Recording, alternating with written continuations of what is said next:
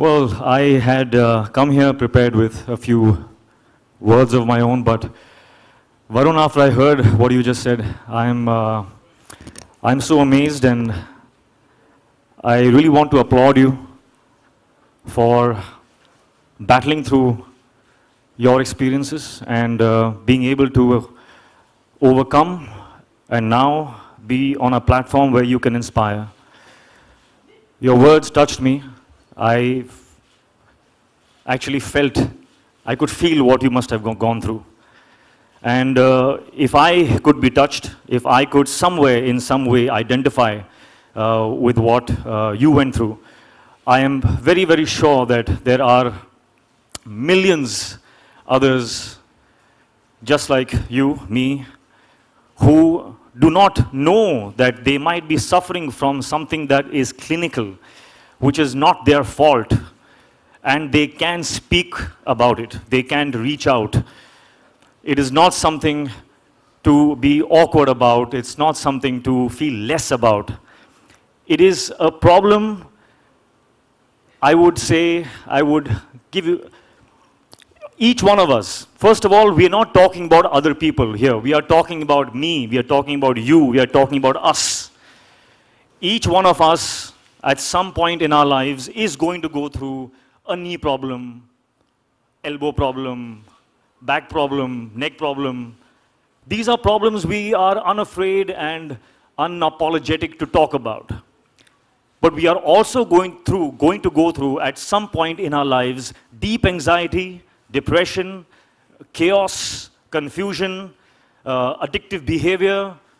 And though we know we are going to go through this, we are going to not allow ourselves to talk about the problems that deal with this part of our body, the brain. Why? Because we have been conditioned since birth that it is something to feel embarrassed about. And that is what we need to stamp out. We need to stamp out that stigma. We need to set ourselves free. We need to educate people. My congratulations to Neerja and uh, her daughter Ananya for this incredibly noble initiative. Thank you, and it could not have been more timely because I genuinely feel that uh, mental health is a factor that is going to have an enormous influence on our future. As a society, I think we are uh, stepping into, going into like a, a danger zone, if I may say, where mental health is concerned.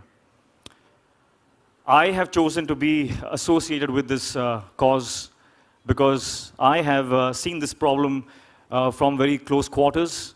I have uh, uh, an, an understanding of, of uh, the, the jubilation when you understand that it's not your fault and the fact that it can be cured. And when I say cure, when I'm, when I'm saying this, I'm not really talking about the, a big illness. It could be really small. It could be, uh, you know, you could be depressed for no reason. You, don't, you can't un understand what the reason is. Uh, and you need to. You need to talk about it.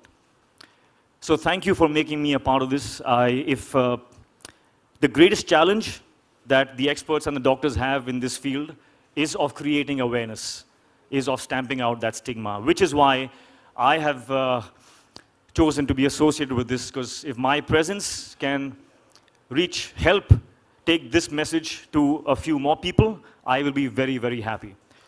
Uh, thank you for giving me this, this opportunity, and uh, we uh, have a little film that I shot, which I think we can uh, play now. Thank you. Thank you, everyone.